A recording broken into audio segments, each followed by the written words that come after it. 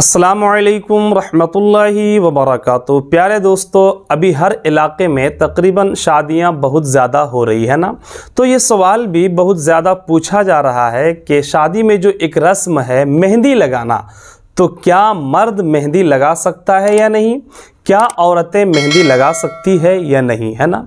यानी बतौर डिज़ाइन क्या मर्द मेहंदी लगा सकता है, या बतौर डिज़ाइन औरतें मेहंदी लगवा सकती है या नहीं लगवा सकती। तो आज की इस वीडियो में हम ये सब बातें क्लियर करेंगे आपके सामने, लेकिन बस आपसे एक गुजारिश है कि आप अगर हमारे इस चैनल पर पहली बार तशरीफ़ लाए हैं तो चैनल को ज़रूर सब्सक्राइब कर लीजिएगा और वीडियो को मुकम्मल आखिर तक ज़रूर देख लीजिएगा।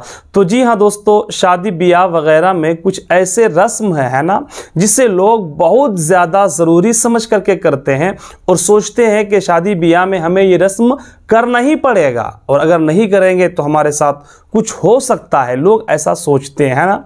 और फिर उस रस्म को वो लोग करते हैं। हालाँकि शरीयत में देखा जाए शर्ई नुक़ नज़र से वो रस्म का अदा करना बिल्कुल नाजायज़ और गुनाह हुआ करता है। फिर भी लोग उसे ज़रूरी समझ करके करते हैं। तो बात ये रही कि क्या मर्द या औरत शादी, ब्याह वगैरह में जो मेहंदी है, मेहंदी का जो रस्म है, क्या वो मेहंदी लगा सकती है या नहीं? मर्द मेहंदी लगा सकता है या नहीं? डिज़ाइन मेहंदी से बनवा सकता है या नहीं? तो सबसे पहले आप ये जान लें कि औरतों के लिए, है ना, मेहंदी का लगाना जायज़ है। अब वो औरतें मेहंदी से चाहे डिज़ाइन बनवाए, चाहे यूँ ही लगवाए थोड़ा लगाए या ज़्यादा लगाए, बहरहाल औरतों के लिए मेहंदी का लगाना जायज़ है। अब चाहे वो शादी का मौका हो या दूसरे खुशियों का मौका हो, अगर औरतें मेहंदी लगाना चाहे तो लगा सकती है, औरतों के लिए जायज़ है।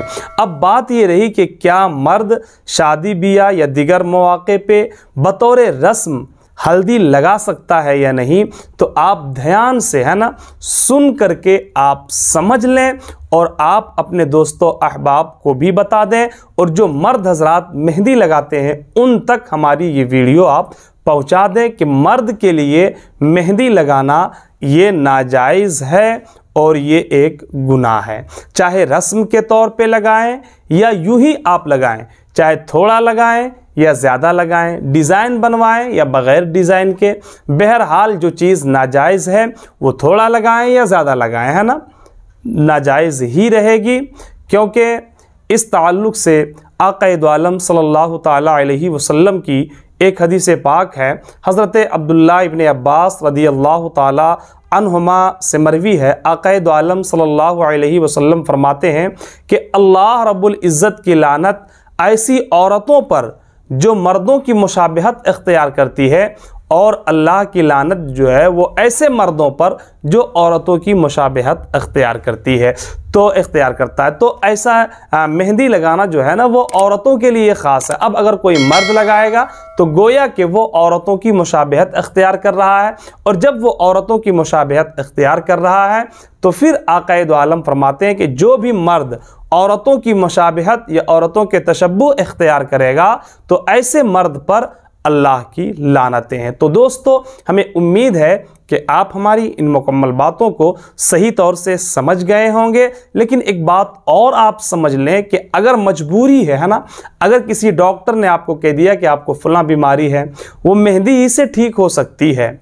तो फिर उस सूरत में बवजह मजबूरी आप उस मेहंदी को लगा सकते हैं, लेकिन अगर कोई मजबूरी नहीं है है ना तो मेहंदी लगाना ये नाजायज़ है। दोस्तों, बस आपसे गुजारिश है कि इस वीडियो को अपने तमामी दोस्तों, अहबाब तक ज़रूर शेयर कर दीजिएगा।